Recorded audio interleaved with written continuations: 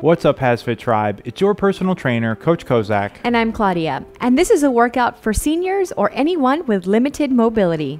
This workout will require either a light pair of dumbbells or even water bottles, depending on your fitness level. Throughout today's workout, we will be providing both standing and seated variations, so you will want to have a chair handy. If you're ready to go, let's get moving.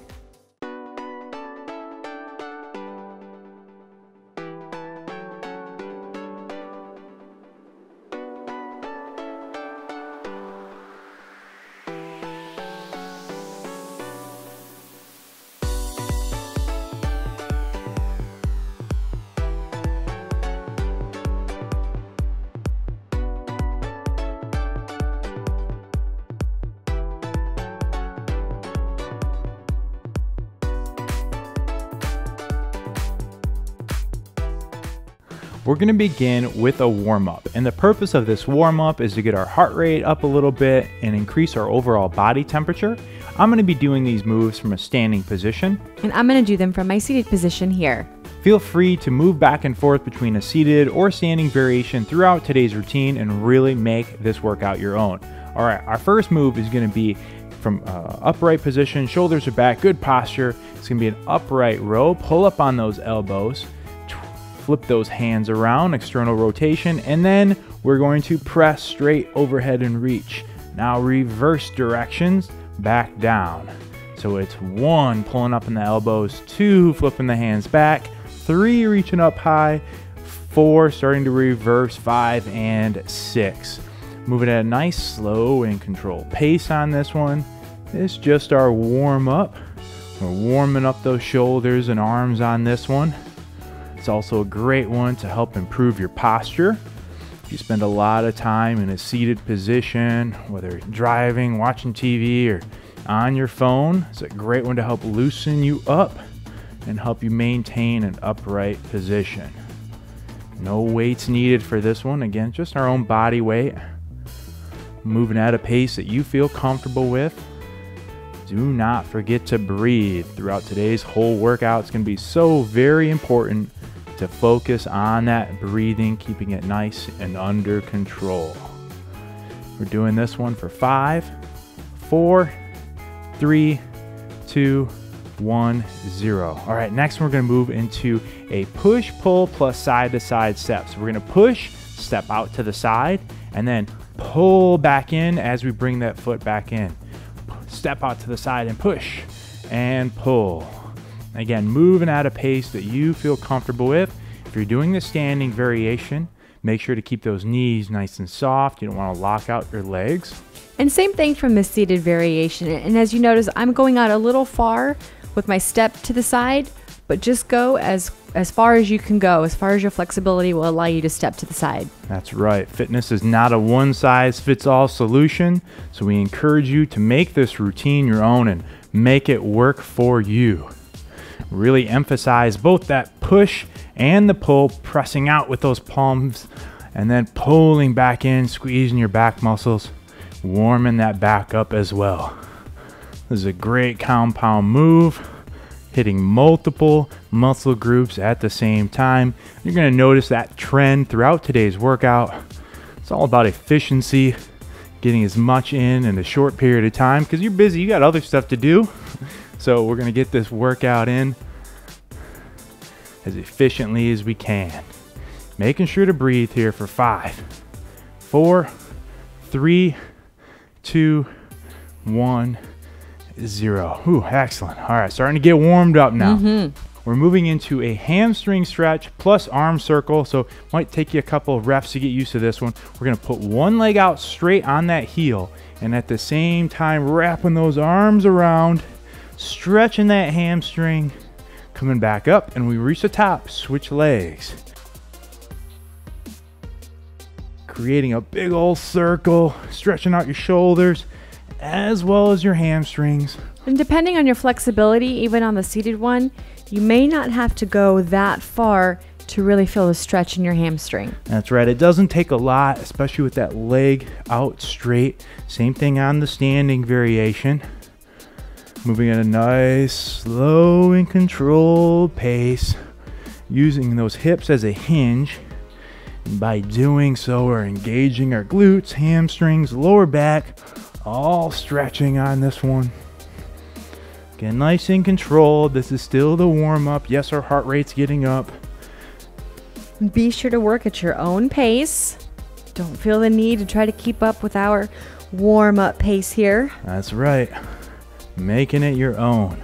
Ooh, I'm feeling a good stretch in my hamstrings on this one. Feeling my workout from yesterday. All right, we're doing this one for five, four, three, two, one, zero. All right, we have one last move here in the warm up. We're going to do a rotation movement. It's put those hands on your head if you're standing, a slight bend in your knees and hips. Now we're going to go side to side twist, an upright twist. On this one, taking it to a max of about 180 degrees side to side, but don't feel the need to necessarily get that full rotation. If you're just doing a smaller twist side to side, and that's what your flexibility allows today, that's all right too. Just focus on twisting at your core, engaging those abs, and at the same time, we're gaining some spinal mobility, some, some thoracic spine mobility along the way. Nice and controlled. Again, don't go too fast on this one. Not trying to get dizzy. No, definitely not. Good point. Just controlled. And of course, we are remembering to breathe. Let's hit this one for five, four, three, two, one, zero. Shake those arms loose. All right, so first one here in the official workout, we're gonna get our heart rates up. We're gonna do a typewriter. So I'm gonna do the standing variation. Claudia's doing the seated. So with our arms in a running motion, I'm gonna go side to side hot feet. And I'm doing the seated one, of course, where I'm doing side to side hot feet. And I'm just moving my feet from side to side. And just do as much as your hip mobility will allow you to move those feet side to side. So I'm just hot feet, staying light and on the balls of my feet, moving laterally, not taking big steps, just small little steps, keeping my feet about shoulder width apart, not crossing over my feet or letting them bump into one another. And your typewriter may be moving faster or slower Or than ours. Or slower. Yep. And that's okay. Again, make it your own. You gotta push yourself. No one else is gonna do it for you. And even if you don't, if you can't move your legs from side to side, just be here if that's all you have. Yep, and that's totally okay too. But just keep moving here. Only doing this one once today. Just get through this first set here. You got it. We're doing this one for 10 more seconds. Come on, keep it going. You're doing great. For five, four, three, two, one, zero. All right, feeling loose now. We're gonna need those hand weights for this next one. Doing a little combo move. I'm using light dumbbells, and Claudia's gonna use her water bottles. So for this one, Claudia's scooted up to the front of her chair, so make sure at the front of that chair. We're gonna do a curl plus low kick. So on each repetition, you're starting with those dumbbells at your side, and then we're curling those pinkies in as we curl up top and performing a low kick. So you want to feel the need to get those kicks very high. Keep a soft knee and that and both knees throughout, not hyperextending either leg. Good posture. And of course, we are remembering to breathe. This one's working your biceps, your forearms, your legs, and even your core. And on that kick, we really want to control it, not get a crazy kick. And by doing so, we're actually also working our stabilizers and working on our balance. Even if you're doing the seated version, it's still working your stabilizers. Excellent. And as today's workout moves on and it gets harder, it's going to be so important for you to remember what it is that motivates you, what it is that brought you here today to begin with, why you click that play button. Hold on to it. Whether you're trying to get more fit, lose weight, just get better at your daily activities, whatever it may be, just remember why you're here. It's going to help you get through. You got this one for 10 more seconds. Good job. Moving at your own pace here. for five, four, three, two, one, zero. Good. All right, we're gonna let out some stress with the next one. We're gonna do some straight punches.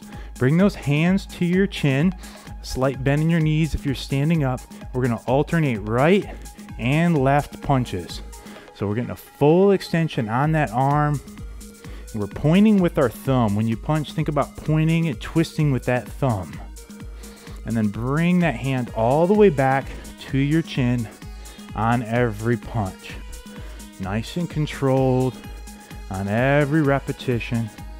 And if throughout today's routine, you, let's say you start with the hand weights or the water bottles, and it's just getting too tough, feel free to also set them down. A lot of these moves, well, all of these moves, are still effective with just your own body weight. Again, making it your own, doing what you have to do to keep moving and getting through to the end. You got it, doing great. Remember, it doesn't matter how slow you're moving, you're still lapping everybody on the couch. Come on, guys, you're here. Let's hear it. Getting a little better every repetition. Let's go, HASfit Tribe. Let's go. We're in it together. This one's working your shoulders, your triceps, your chest, and your abs all at the same time. Not forgetting to breathe. Let's go 10 more seconds on this upper body move.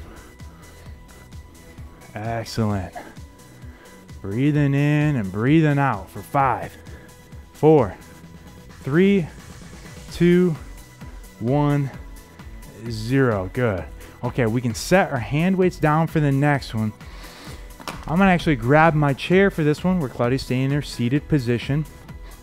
I'm gonna do a split squat and Claudia is going to do a one leg press. So in a split position, I'm using my chair for balance. If you don't need it, you don't have to use it, but I suggest you have it ready to go. I'm going to drop my back knee straight down and I'm going to come back up.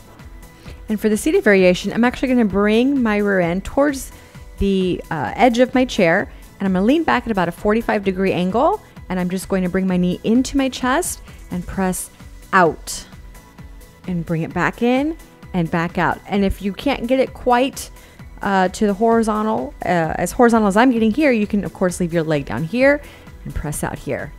Making it your own. If you're doing this split squat variation, dropping straight down, and we're aiming to get both knees at a 90, but if that doesn't happen and it's uh, a, a shallower, not quite as deep split squat, that's okay too. And again, using this chair if you need to for balance you start with one move and you want to try the other one, that's great too. We're going to do equal time on both sides here. So we got just 10 more seconds on this side and then we're going to switch it up. And you start to feel that burn, that lactic acid kicking in. You got to remember you're stronger than that burn. Pushing past it. Three, two, one, zero. Okay, go ahead and switch sides now. If you have to do a little change of setup, I'm going to Change my chair here. And if you're doing the seated variation, just move it right into the next leg. Excellent. One rep right into the next. I'm dropping that back knee straight down. And if you are doing the seated, also make sure you're engaging those abs to bring that knee into your chest. Good, good posture.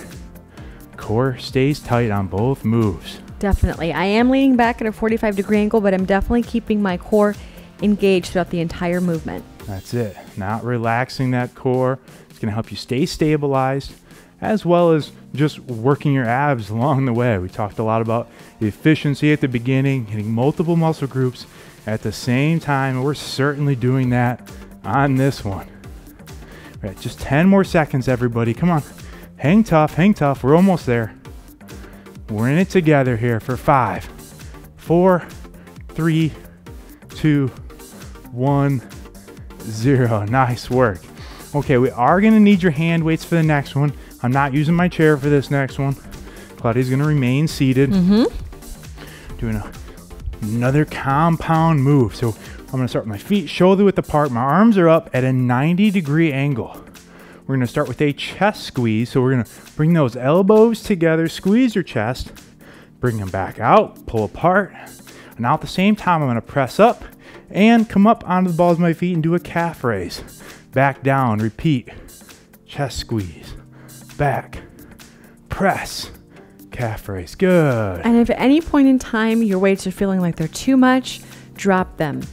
That's it. You can do, totally do this one with just your arms, and you're still going to feel it, I promise you. Doesn't take much for those shoulders to start feeling some burn. No, it does not. And just remember, you keep coming back, repeating this workout, you'll get a little bit better every time. Good. Really focus on form on this one. When you're coming up onto the balls of your feet, staying under control, using those calf muscles.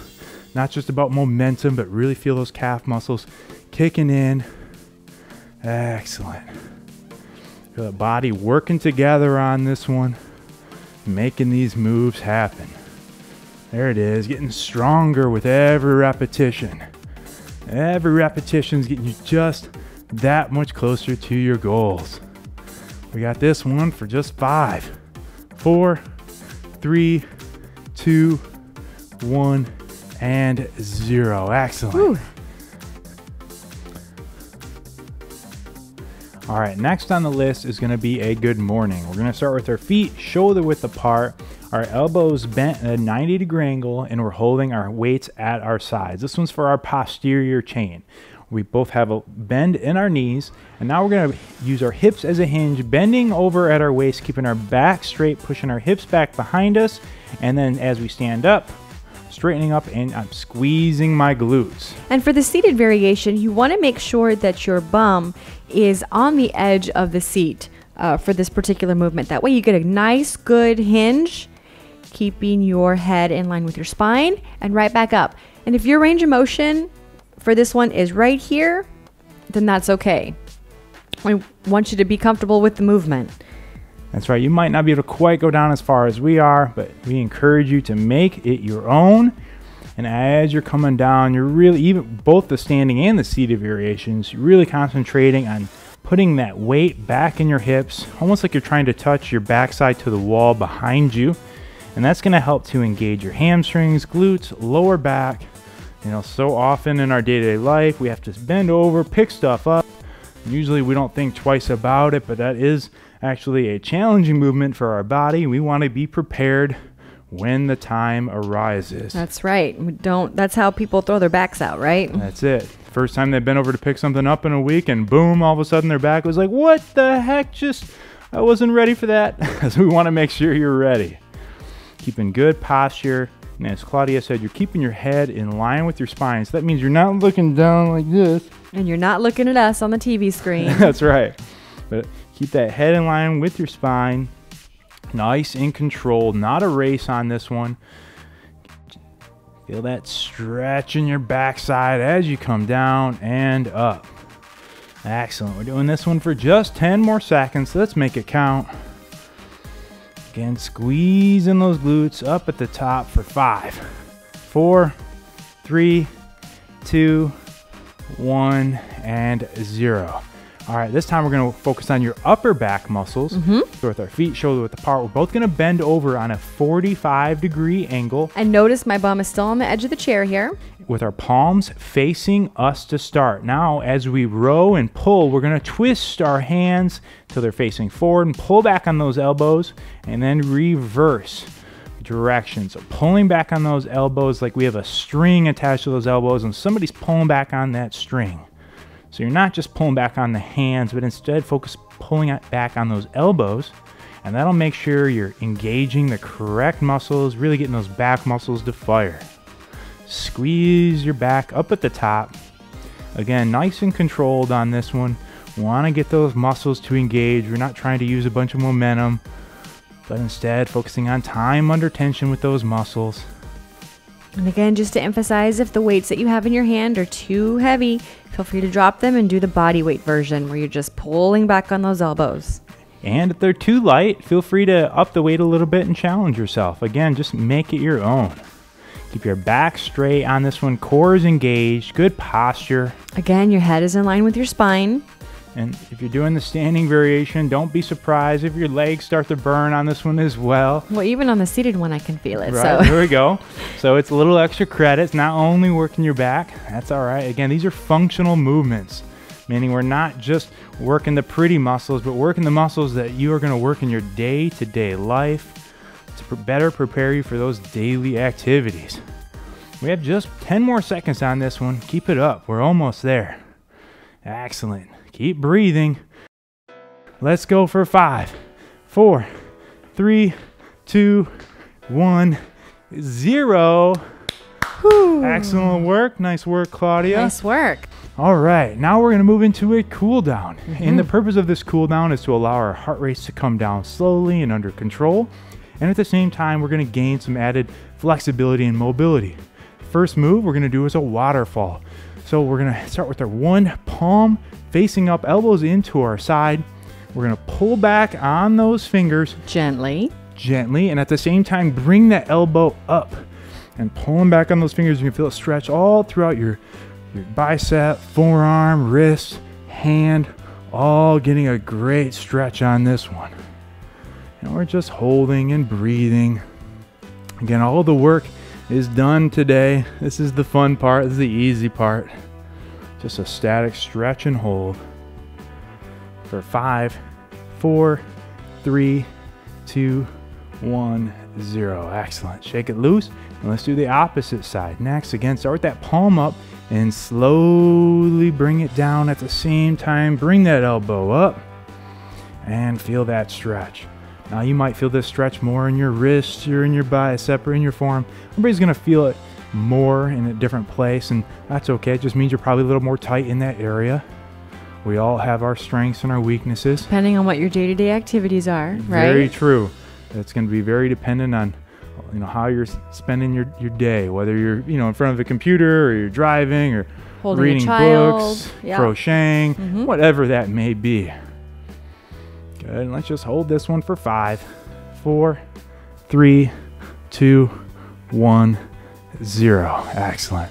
All right, shaking it loose. We're moving into one of my favorite stretches to improve your posture, which is going to be a bent arm chest opener. So let's go and start with our arms up and at a 90 degree angle. And we're going to squeeze our chest and then we're going to open and pull back on those elbows like somebody's pulling back on those elbows. Again, come back, squeeze your chest and then open, keeping good posture throughout. Shoulders remain back. Trying our best to bring our, our arms together. You might only be to here, and that's as far as you have. That's all right. We're working both ends of the stretch, stretching our back as well as our chest and shoulders. Excellent. Nice and under control. This is an active or a dynamic stretch. Pulling back on those elbows. Good. Remembering to breathe. And on this last one, we're to pull apart and then we're just to hold right here and turn it into a static stretch. So again, act like somebody's pulling you apart and back from those arms and you're feeling that stretch. Keeping good posture. We don't want to lean back while we're doing it. Just staying straight up and down. And it might be easier for you to do some of these stretches seated from a seated position. Yeah, and that and please do so if that is the case. I'm actually going to take a seat uh, seat here for one of the next ones. Let's do this one for three, two, one, zero, and relax. So yes, Claudia called that I am taking my seat here for the next one. We're going to do a back reach stretch, Mm-hmm. and this one's just a little easier for balance purposes to do from a seated position. You don't Completely. gain you don't gain a whole lot from doing this one standing. So we are going to do this one seated, and so making sure we're at that front of our chair. And we're gonna do a big sw- up and over swim like butterfly move, and then we're gonna reach, stretching our back, bending over like somebody's, uh, like we're reaching to touch and hold on to something, or like somebody's grabbing our hands and they're pulling us, and just feel that open up your back, your lats, which is your lats are your side back muscles here. Keeping a good stretch and just hold. Just a static stretch. Just keep reaching and reaching and reaching. Reaching a little further for five, four, three, two, one, zero. Ah, good. All right, let's stretch out that lower body next. So let's get both legs out straight and we're going to be on our heels. And our first move we're going to do is we're going to bring those toes back and that's going to really engage our calf muscles. Trying our best to keep our legs straight and not allow our knees to bend. Now with our hands on our hips, we're going to bend over a little too far on my chair. We're gonna bend over using our hips as a hinge, keeping our back straight. Now there's not a lot of range of motion for this one, Definitely not. but just keeping those toes pulled back. You're gonna feel it in your your calves, your hamstrings, your glutes. Making sure not to fall out of your chair on this one. You scoot back if you need to. And again, not a not a big stretch uh, as far as how much you're moving, but you can really feel it in your backside. Just focusing on bending over at those hips as a hinge, breathing, pulling back on those toes too. Make sure we get those calves. They uh, so often get so tight. For five, four, three, two, one, zero, and coming on up. All right, we're gonna one last do one last stretch, stretching out our quadriceps. So for this one, I'm gonna ask that you scoot to one side of your chair. So with one leg, we got a nice solid base here. And with our other foot, if you need to, you can use your hand to pull it back. If not, you can do it on your own. We're pulling that foot back as far as you feel comfortable. So that might be to only right here, mm-hmm. or you might be able to really get it back. Now we're gonna lean back just as much as you feel comfortable and feeling a stretch in that hip flexor and that quadricep. Now, in all these static stretches, we're trying to get to about 85 90% of what you're capable of. We want to feel a good stretch, but at the same time, we don't want to induce any pain. We're not trying to hurt yourself here. Good. And again, just breathe. Take a second here to be proud of what you've achieved so far today. If working out were easy, everybody be fit, but you know that's not the case just as well as we do. Holding this one for three, two, one, zero. Come on up slowly. All right, let's switch sides and let's finish this last one. Getting that foot back, keeping good posture, good base in that front lead leg, and leaning back until you feel an adequate stretch. Nice and under control. And it's totally common to have one side be tighter or mm-hmm. looser than the other, so don't let that worry you if one side is much tighter than the other. It's also a great one to loosen up those knees if you have any having any knee trouble. Just hold and breathe slowly here for five, four, three, two, one, zero. And that is it. you made it.